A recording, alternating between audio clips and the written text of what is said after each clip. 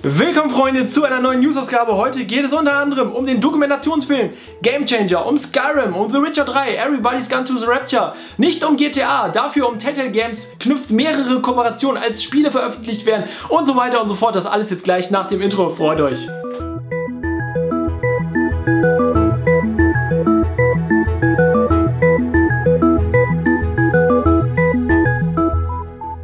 This world doesn't need a hero.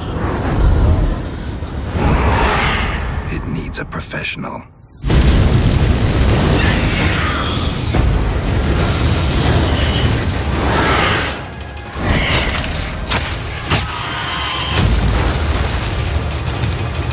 Und das war der offizielle TV-Spot zu The Witcher 3 Wild Hunt. Den werdet ihr wahrscheinlich jetzt im Fernsehen öfters sehen. Der ist auf jeden Fall sehr cool gemacht.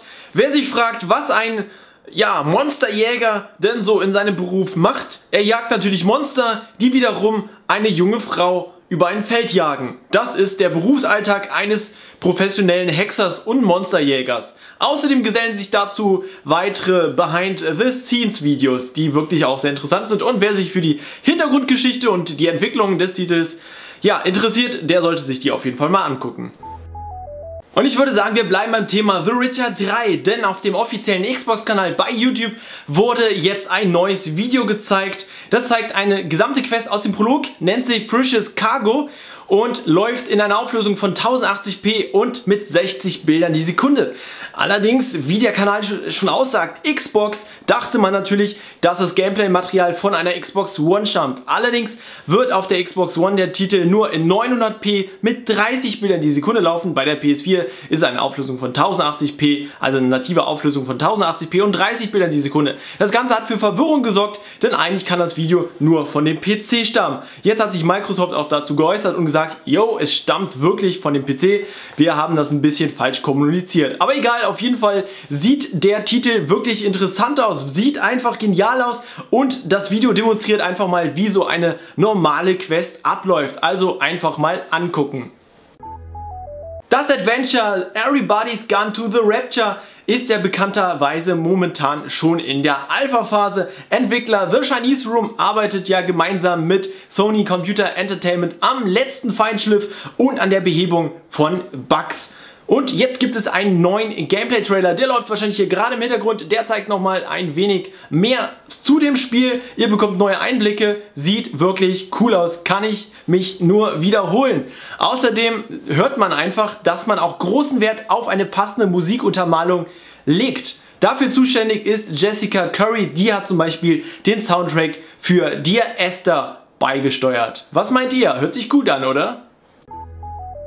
Publisher und Entwickler Crytek möchte auf der diesjährigen E3 in Los Angeles im Juni ein neues Projekt vorstellen. Via Twitter hat man bekannt gegeben, dass dieses Projekt wirklich, Zitat, sehr gut werden soll. Da bin ich auf jeden Fall mal gespannt, um was es sich da handelt. Momentan sucht man ja auch viele Entwickler für ein geheimes Projekt. Stelle ich mir sehr interessant vor, wenn man sich für ein geheimes Projekt bewirbt. Man weiß gar nicht, woran man dann arbeiten muss. Weitere Details dazu gibt es nicht. Allerdings habe ich ja vor einiger Zeit schon darüber berichtet, dass der Online-Versandhändler Amazon ja, Crytek quasi gerettet hat vor dem Aus, vor dem Existenzaus und zwar mit einer kleinen, kleinen Geldspritze in Höhe von 50 bis 70 Millionen US-Dollar. Es könnte sein, dass man dann vielleicht momentan oder in späterer Zukunft oder in naher Zukunft an einem gemeinsamen Projekt arbeitet. Also Crytek und Amazon an einem Videospiel. Bin ich mal gespannt. Amazon hat ja auch schon seit einiger Zeit ein eigenes Entwicklerteam. Was meint ihr? Auf jeden Fall ein interessantes Thema. Weitere Infos dazu erwarte ich dann auf der E3 im Juni.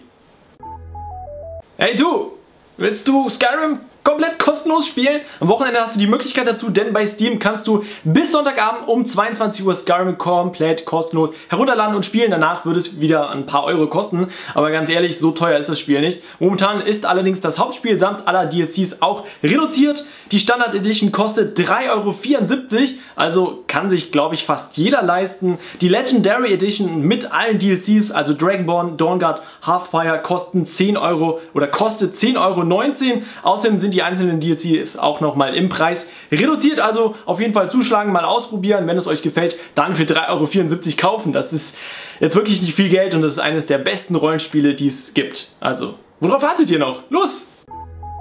Ihr habt wahrscheinlich schon von dem Dokumentarfilm Game Changer gehört. Das ist eine Dokumentation rund um die GTA-Reihe und jetzt hat der produzierende Sender BBC bekannt gegeben, wer die Hauptrolle und zwar Sam Hauser, einer der Mitgründer von Rockstar Games, spielen wird und zwar kein geringerer als Harry Potter Star Daniel Radcliffe. Finde ich gar nicht so schlecht. Was meint ihr? Könnt ihr auf jeden Fall schon mal in die Kommentare schreiben. Beleuchtet werden soll eine Episode des Studios in der Geschichte ähm, also in der Geschichte des Studios, in der ein Anwalt namens Jack Thompson versucht, ein Verbot der GTA-Reihe herbeizuführen. Jack Thompson, der Anwalt, wird von Bill Paxton gespielt. Den kennt man vielleicht schon aus Aliens oder Apollo 13. Außerdem hat man bei BBC jetzt nochmal ganz, ganz klar unterstrichen, es handelt sich dabei um keinen Gangsterfilm mit einer GTA-Lizenz, sondern viel eher um, Zitat, einer faktenbasierendes TV-Drama. Hört sich interessant an. Was meint ihr? Ich habe das Gefühl, dass Entwickler Telltale Games momentan mehr Kooperationen knüpft, als Spiele veröffentlicht werden.